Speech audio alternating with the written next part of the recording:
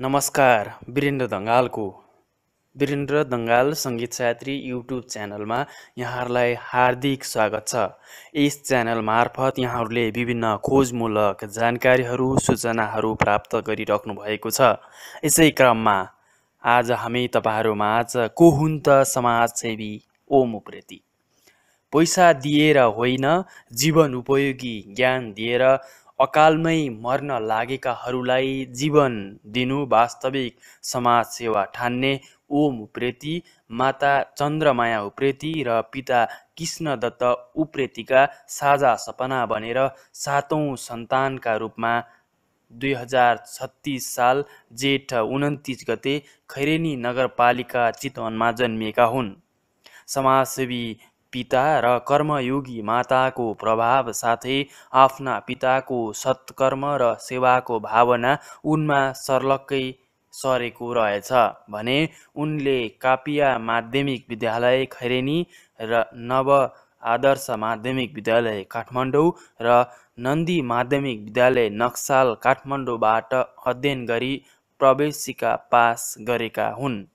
रत्न राज्य लक्ष्मी कलेज काठमाडौँबाट प्रविडिता प्रमाणपत्र अध्ययन गरेपछि उनले वैदेशिक रोजगारीको लागि युएको यात्रा तय गरे।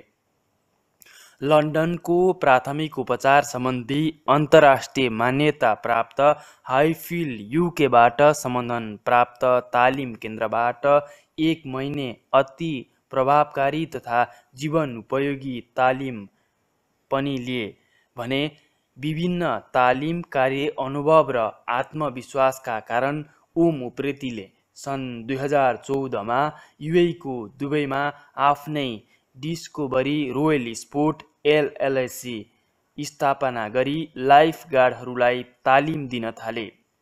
यस कम्पनीले तालिम मात्र दिने होइन विभिन्न होटेल क्लब तथा प्रपर्टिजहरूलाई तालिम प्राप्त लाइफगार्डहरू पनि उल उपलब्ध गराउने यो कम्पनी रजिस्ट्रार कार्यालयबाट दर्ता भई नेपालको शाखाको लागि काठमाडौँको नयाँ बस पार्क एरियामा रहनेछ।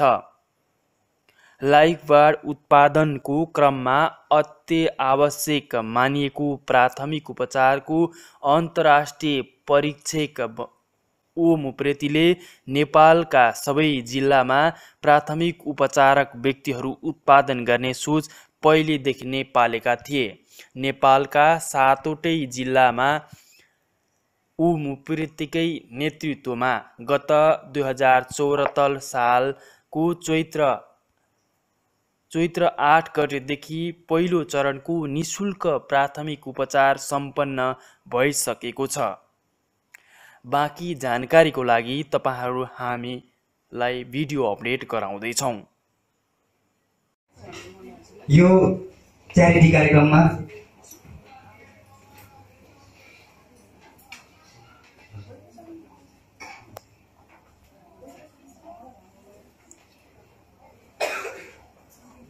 निर्देशक श्री ओम उप्रेती ज्यूलाई वैदेशिक रोजगारीको सिलसिलामा युमा आएका नेपालीलाई परेका विभिन्न समस्याका सहयोग उद्धार उद्धार गर्दै विभिन्न निशुल्क प्राथमिक तालिम हजुरले अर्गनाइज गर्दै सबैलाई नेपाली जन्म पुर्याउनु भएको यो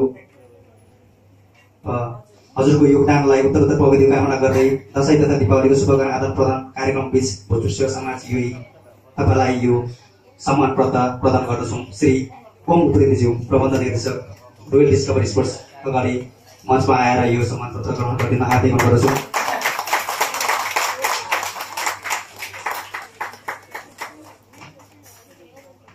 यो सम्मान प्रदान गरिदिनु हुन यहाँहरू नै महाशासिक चित्र मनु छेत्रीज्यूले ग्रहण गरिदिन हार्दै ग्रहण गर्दछु कृपया फोटो खिच्नुहोला यहाँको उच्च मूल्याङ्कन योगदान गर्दै आगामी दिनहरूमा पनि हजुरको अमूल्य योगदान साथ सपोर्ट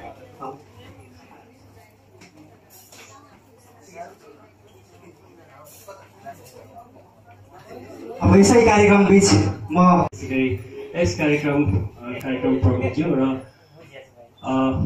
एलआरएनए युएका महासचिवज्यू त्यसै गरी हाम्रा युएका युथ कोअर्डिनेटर जी हुनुहुन्छ त्यसै गरी हुनुहुन्छ हाम्रा मनोजी पनि हुनुहुन्छ मैले अलिकति बेसी खास गरी प्रवक्ता हुनुहुन्छ हाम्रो यहाँनिर र विभिन्न सङ्घ संस्थाका साथीहरू र सम्पूर्ण भोजपुरका विभिन्न निकायबाट पाल्नुभएका विशेष साथीहरूमा फेरि पनि म नमस्कार भन्न चाहन्छु र यस स्याङ्जाबाट सुरु भएको थियो। र स्याङ्जा पाल्पा गुल्मी रूपन्देही सर्लाही सुनसरी मोरङ र झापामा गएर समाप्त भएको थियो र विभिन्न युएमा रहेका सङ्घ संस्थाहरूदेखि व्यक्तिहरूबाट हामीलाई निकै सहयोग पाएका थियौँ र जस्तै सङ्घजाली समाज झापाली समाज रूपन्देही समाज युए र सुनसरी समाज अ, विभिन्न त्यसरी नै पाइएको थियो।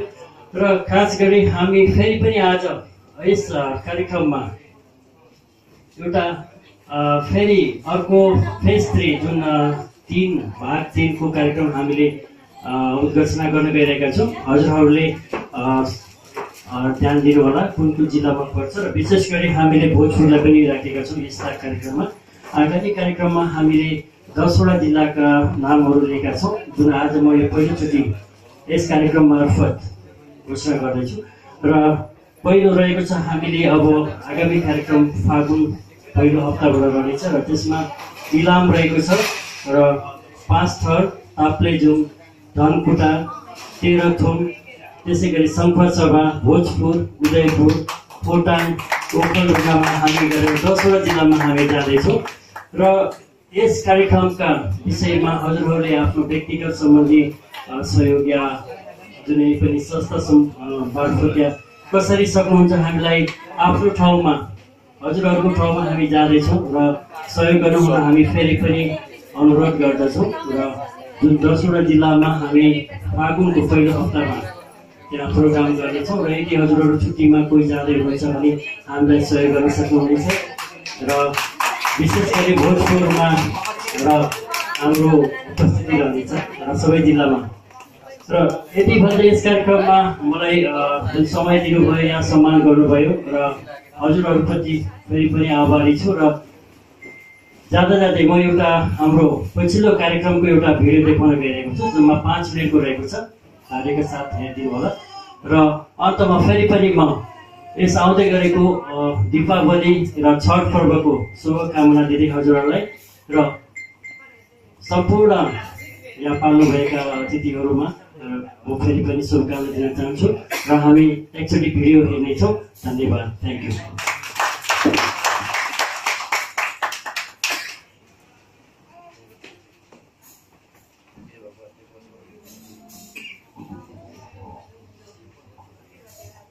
एउटा अत्यन्त सूचना हजुरहरूलाई जानकारी गराउन चाहन्छु। कोही पनि अतिथि महोदयहरू पाल्नु भएको छ हाम्रो खानाको